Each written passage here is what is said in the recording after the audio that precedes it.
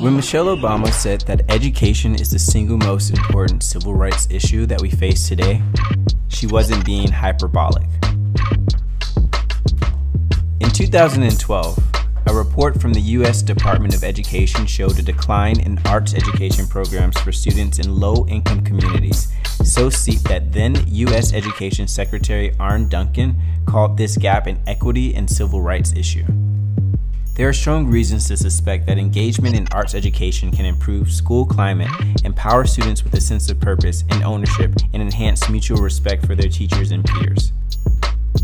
In fact, study after study has found that arts training increases attention and brain cognition. The solution is clear invest in arts education.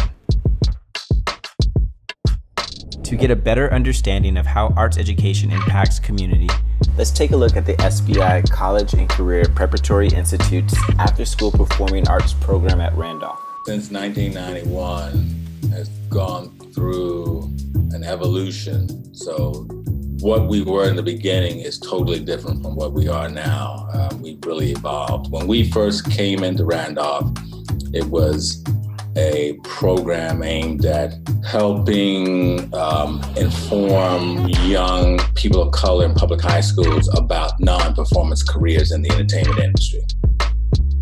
We started doing the performance piece around the time of the Million Man March, and we organized 100 brothers. And we decided that this 100 brothers would become a step team the girls in the school protested the fact that there was a boys' step team. There was no regard for the females in the school that were the majority in the school. That resulted in a girls' step team called Sisters Only.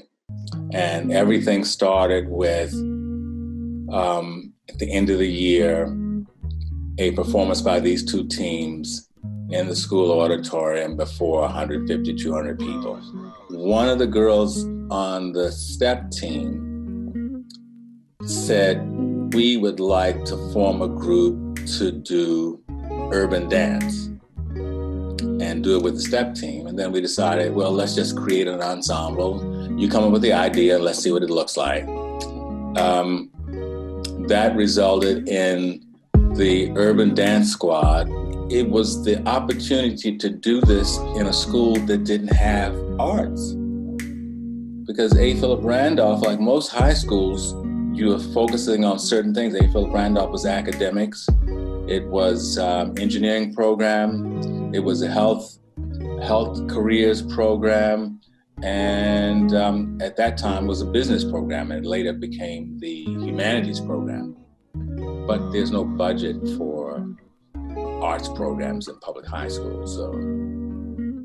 This program is the key that turns the lock that opens the and door. It's creating opportunities for young people of color, not only to uh, get the information about college, but to prepare their college essays, to develop their persona, to uh, imagine what's possible, to take college visits, to get SAT prep. And then on top of that, they're participating in the performing arts program. Those who are interested in being on stage rehearse every day with professional choreographers that we bring in. Those who are interested in the, in the technical theater arts aspect, who want to be running the show, they're studying lighting, they're studying sound, projection, house management, stage management, and these are the real transferable skills that uh, you know students can leave here and get a job while in college. My name is Danny Ramdani. I am a graduate of the CCPI and A. Philip Randolph uh, community. I think it was my sophomore year where I was helping out with the tech crew and I was really interested in like the behind the scenes aspects of everything. And so I went through the program and I was actually able to become like one of the captains of the lighting team and we put on huge spectacular shows. And each person have their has their own role. Each person has you know their own strength their own weaknesses. But with their own weaknesses you know you always have someone that knows their strengths and will help you build and help you you know succeed in what like what kind of skill that is. So as a family, you know, I feel that each each member in the tech group, including myself, um, you know, they're always there for each other, especially during the shows when it's the most stressful times. They've got each other's back. They don't let one fall and just let it happen, you know.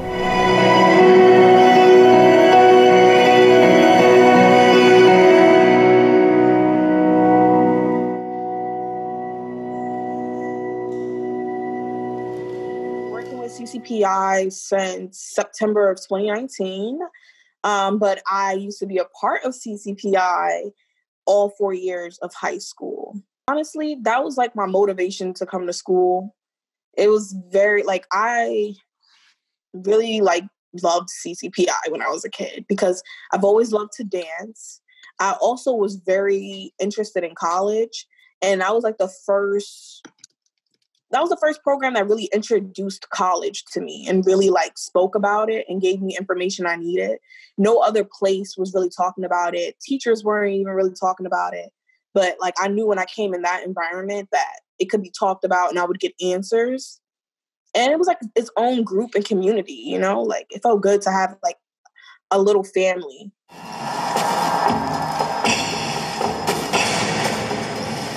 Being a student there and when I first joined, um, I kind of wanted to go and leave to like go to performing arts school, being that you know dance is my background. But when I came into um, came into contact with uh, Charles Thompson, he persuaded me and um, convinced me to stay and like you know build leadership at A. Philip Randolph. So I started off, um, you know, dancing on the West Indian team, and then slowly doing like you know contemporary and ballet solos there and then that's where I really got my um, my taste for choreography and just leading a group.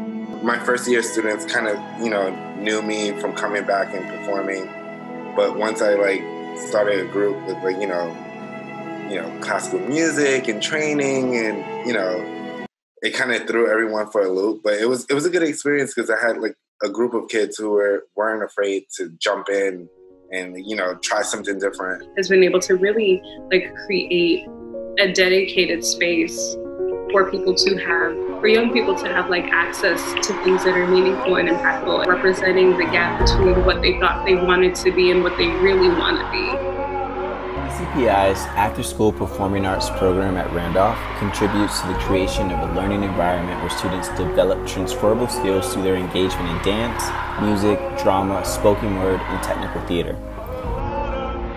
CCPI's After School Performing Arts program is a hidden gem inside the castle.